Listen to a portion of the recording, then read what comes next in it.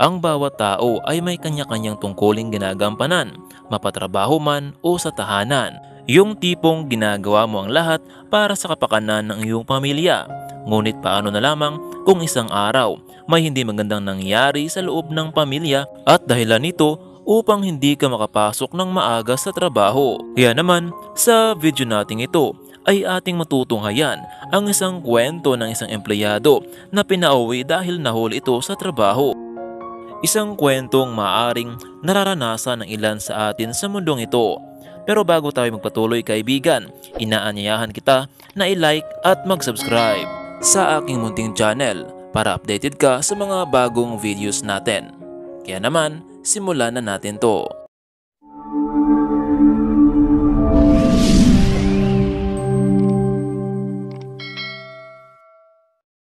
Isang binatang tawagin na lamang natin sa pangalang Arnold. Isang araw, na late ito sa kanyang pinapasukang trabaho. Nahiyaman, ngunit kinakailangan niyang pumasok kahit half day man lang. Aba, late ka na. Bakit papasok ka pa? Masungit na tanong nitong si Jackson, isang manager. Habang nakasalubong nito ang isang binatang empleyado sa hallway ng kanilang opisina. Magandang umaga Sir Jackson. Pasensya na po kayo. Kailangan kailangan ko talaga ng pera. Kahit kalahating araw na lang po sana, ang idaradag nyo sa sahod ko ay ayos lang sa akin yon. Huwag nyo lang ho akong pauwiin. Isang pakiusap nito sa kanyang manager habang hingal na hingal pa ito. Nang hihinayang ka pala sa perang nawawala sa'yo kapag nahuli ka sa trabaho. Bakit hindi ka pumasok ng maaga? May emergency lang ho kasi sa bahay Sir Jackson. Nakatungong sagot nito dahil na rin sa kahiyang naramdaman bunsod ng mga katrabahong nakatingin sa kanila. Emergency? Gas-gas na dahilan yan Arnold. Kung gusto mo talagang magkaroon ng malaking kita sa kumpanyang ito, pumasok ka ng maaga kahit may emergency pa. Kahit umiyak ka pa ng dugo hindi kita hahayaang pumasok dahil paulit-ulit mo lamang itong gagawin at makakaapekto ka pa sa katrabaho. Sige, umuwi ka na. Pagalit na pagkasabi ng kanyang manager dahilan upang agad itong lumabas sa kanilang opisina. Dahil sa galing makipag-usap at masipag sa trabaho, agad naging manager sa isang restaurant si Jackson. Kaya naman, tinuturing siyang number one sa mga empleyado noon. Kaya naman ay umangat din ang kanyang posisyon. Ngunit para sa mga hinawakan niyang empleyado ay para siyang isang leon na walang pakundangan sa paninermon. Ang lagi nitong depensa sa tuwing nagreklamo ang mga ito sa kanyang boss. Naghigpit lamang ito para maging organisado at disiplinado ang mga taong hawak nito. Nakakalungkot man at mabigat sa kanyang loob, lumabas na lamang ito sa kanilang opisina at napagdesisyonan nitong bumisita na lamang sa kanyang ina sa ospital. Ngunit habang ito ay nasa daan, isang pangyayari ang hindi inaasahan. Isang sasakyan ang bumangga sa kanyang harapan at muntik na itong matamaan.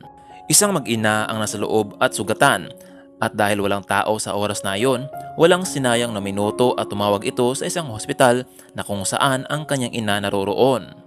Sa oras na iyon, dalawang buhay ang kanyang nailigtas. Labis naman ang pagpapasalamat ng mag-ina sa mabuting ginawa ni Arnold. Paliwanag ng ina na wala ng preno ang minamanehong sasakyan at bumangga ito sa kanyang harapan. Makalipas ng ilang oras, dumating na rin ang asawa ng ginang na noon ay nakasuot pa ito ng magarang kasuotan. Nais niyang pasalamatan ang taong tumulong at nagligtas sa buhay ng kanyang mag-ina. Isnaysay ng babae sa kanyang asawa na sa kabilang silid lamang ang taong tumulong at nagsagip sa kanilang buhay. Tumungo naman sa kabilang silid ang lalaki upang harapang pasalamatan ito. Ngunit isang nakakagulat na pagtatagpo ang kanilang masasaksihan. Pagbukas ng pinto ni Arnold, tumambad sa kanyang harapan ang isang lalaking may magarang kasuotan. Sir Jackson, ano po ang ginagawa niyo rito? Arnold, ikaw ba yan? Oo, narito po kasi ang aking ina. Ikaw ba ang tumulong at nagligtas sa aking mag-ina? Gulat at nakatitig ito sa kanyang manager. Sir, sila po ba ang iyong pamilya? Mapalad po kayo dahil ligtas po ang iyong mag-ina. Arnold, pasensya ka na dahil hindi kita pinaniniwalaan sa iyong dahilan. Maraming salamat sa iyong kabutihan. Hayaan mo, ako ang mababayad ng gastusin ng iyong ina bilang papasalamat ko sa iyo.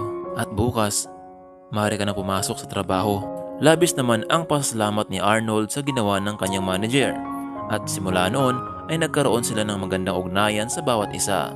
Sa pagkakataong iyon, napagtanto ni Jackson na ang mga empleyadong hawak niya ay may pansariling buhay at problema. Kaya naman ay ito ang dahilan upang magbago ang pakikitungo niya sa mga ito. Hanggang dito na lamang kaibigan. Maraming salamat sa inyong walang sawang pagsuporta. Pero bago tayo magtapos ay shoutout muna sa mga taong ito. Shoutout sa Nicolas family, shoutout sa Mendez family, and shoutout sa De La Peña family. At shoutout kay Buholian Stories Rhapsody. Mga kaibigan, maraming maraming salamat.